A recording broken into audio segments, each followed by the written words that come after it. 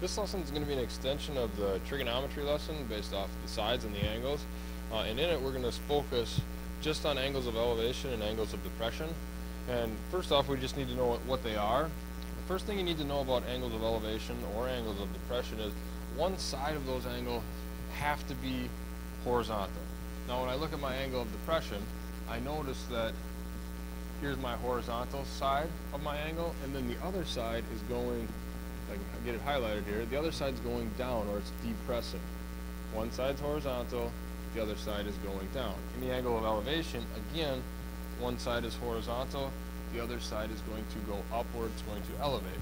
That's how they get their name of angle of elevation and angle of depression. Now what I want you to realize here is I have a line up here, or, and a line, oops, and a line down here, horizontal, so they're parallel. Now I have two parallel lines. They're cut by the transversal. My transversal would be the, the red and blue together. I have a pair of alternate interior angles here. And what we remember back to when lines are cut by a transversal, then the, or when parallel lines are cut by a transversal, the alternate interior angles are congruent, which tells us the angle of elevation and the angle of depression will be congruent. And the reason I bring that up is because sometimes when we look at our problems, it's more, more of an advantage to solve for the other one. May ask us to find the angle of depression, but it's easier for us to find the angle of elevation. Now, my first problem I have here, we have a salvage ship that's using sonar to determine that the angle of depression to the wreck on the ocean floor is 13.25 degrees. Notice it's already in my picture. I have that right here. Now, it tells us that the depth chart shows that the ocean floor is 40 meters below the surface. I have that right here in my picture. And what it wants to know is how far must diver lowered from the salvage ship walk along the ocean floor to reach the wreck. So here's my diver. He's walking here, down here to the ocean floor. Well, another way to look at it is what happens if we just put the diver in the water, the diver swims to a point uh, directly above the wreck and then falls down. So either way, we're going to find that, that length that the diver is going to walk or that the diver is going to swim. What's nice about this one is the picture's already there all it's asking us for is how long is the green? Well, we have this right triangle, because we're going to assume, go with the assumption, I know that can be a little dangerous at times, but we're going to assume that we have a right angle there because we're going to drop down vertically. Well, now I look at my triangle and I see from the acute angle that I know, from there I know the side that's opposite of it, and I'm looking for the side that's adjacent to it. Well, I think back to my trig functions, and the, the one that deals with opposite and, and adjacent is tangent. Therefore, I'm going to go with the tangent of my 13.25 degree angle. I know that that is going to equal the opposite side, which is 40, over my adjacent side, I'm going to call it x, which would be right here that I had marked in the green.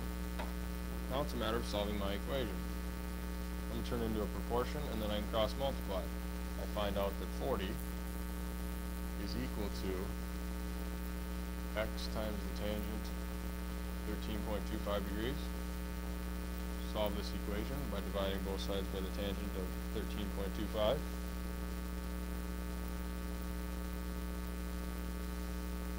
And now I have myself a calculator problem. Find out that x is going to equal, and just go to my calculator, I'm going to type 40 divided by the tangent of 13.25. Now again, remember to make sure that your calculator is in degree mode. Oops, hit the wrong button. So 40 divided by the tangent of 13.25. And I hit enter and find out that it's 169.87. So I can fill this in. The approximate distance that that person is going to have to walk is going to be 169.87 and notice meters was the label before, meters will still be the label. Figured out how far the diver has to walk or swim. Now my next one, no picture this time, so we're going to have to draw our own picture. It tells us that we need to find the angle of elevation of the sun when a 7.6 meter flagpole casts an 18.2 meter shadow. Well, I like to draw my picture. I know I have a 7.6 meter flagpole. Going to call it right there. This is 7.6. And then it, it tells me that we have a shadow of 18.2 meters. There's my shadow. Very beautiful. picture, I know. And we need to figure out that angle of elevation.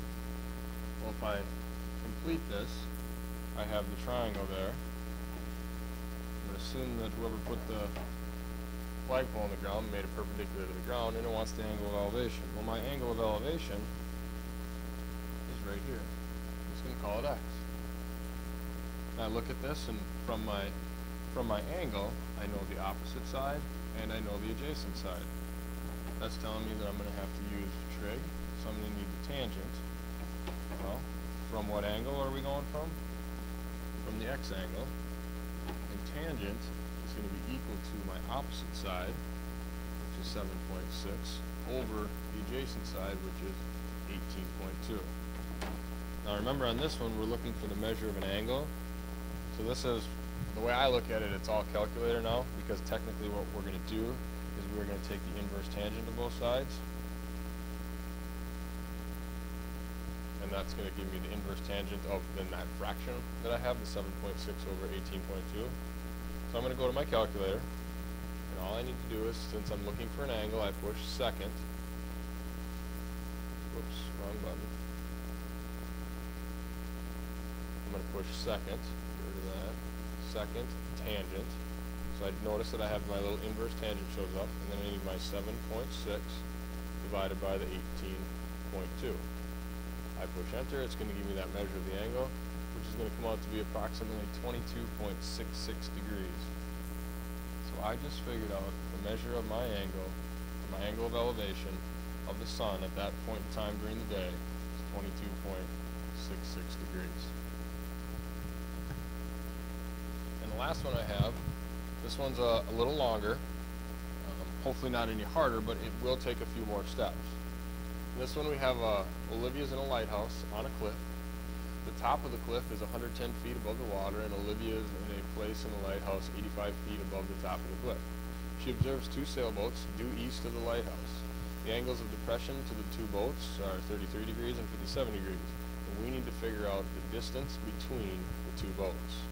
Now when you look at that at first, there's a lot going on, and it might be a little confusing. So let's just start breaking things down. It tells us um, that there's a lighthouse on top of a cliff. It tells us that the cliff 110 feet above the water. We also know that Olivia is in a place in the lighthouse that's 85 feet above the top of the cliff. So I'm just going to start there with that part. I'm going to go, well, I'm going to say that my water is here and then I have the cliff, which is here, which is 110 feet. But then I also have Olivia, that's even higher up in the lighthouse, another 85 feet. Right? It says she observes two sailboats due east of the lighthouse. So she know we know that there's a sailboat here, caught there, and there's a sailboat here. And it tells us that the angle of depression to those two boats is 57 degrees and 33 degrees. Now we have to figure out how far it is in between them. I'm just going to call that distance between them x, because that's what we're looking for. Now let me put in these angles of uh, angles of depression. Now remember, an angle of depression is really not any different than an angle of elevation. So I look at this triangle here that's the the red, the red to the blue, and then the purple, or excuse me, orange and pink. I have an angle of elevation here. Told me the angle of depression is 57. Well, I'm just going to convert that to be an angle of elevation. And then I also have another one that's 33 degrees. Angle of depression, I know it says that, but I'm going to convert that into the angle of elevation because they're always congruent. Now, how do you tell that, know that this one's 57 degrees and this one's 33 degrees? Well, I go with this. I'm going to use my picture and go by what it looks like here. Now be careful with that because we can't always do that, but if one's 57 and one's 33, well obviously the bigger one is going to have to be the 57 degree angle and the smaller one's going to have to be the 33 degree angle. Now I know it's not drawn perfectly to scale, but it's kind of in the ballpark. Now, what I look at on this is, I see, I see a triangle here. Actually, I see multiple triangles. But what I'm going to look at here first is I see this big triangle from about the cliff and the lighthouse out to the farthest boat. Well, I could find, let's see, let's go with, let's just use.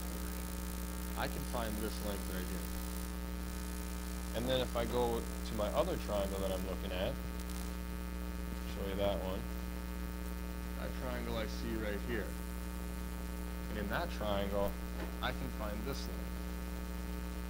So if I know how long the green segment is, and I know how long the red segment is, all I'm going to need to do is subtract them to figure out how long x is.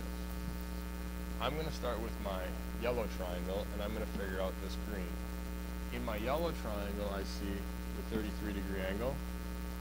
I know the side that's opposite from it. That's this piece here, which is going to be 195. And I'm looking for the side that's adjacent to it, the green piece that's going to be a tangent of my 33 degree angle.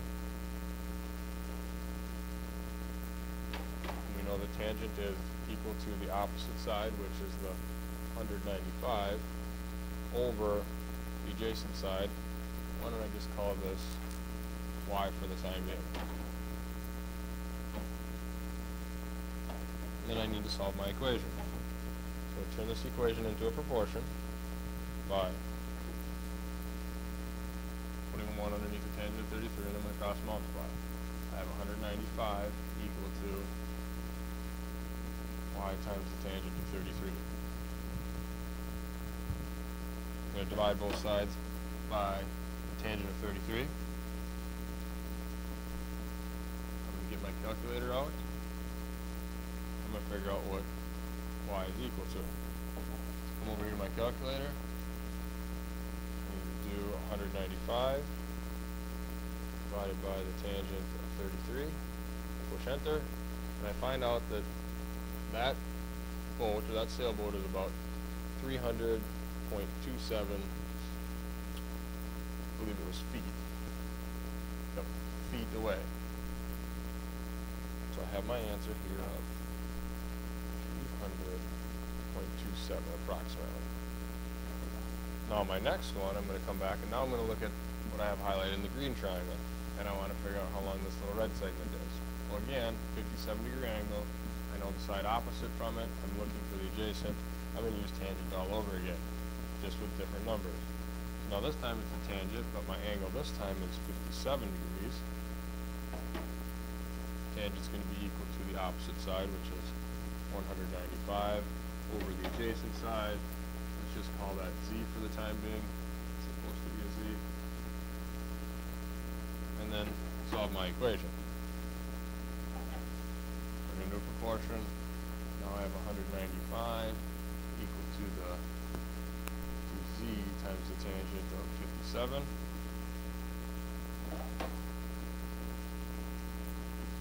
This time I'm going to divide by the tangent of 57. Figure out that z equals, well, whatever it says in my calculator. Now this time I need to do 195 divided by the tangent of 57. That comes out to be approximately 126.63. 126.63.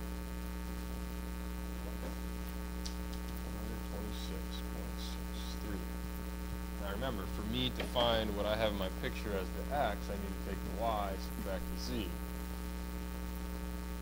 That's 300.27. I need to subtract 126.63, and I'll have my answer. I'm going to go back to my calculator.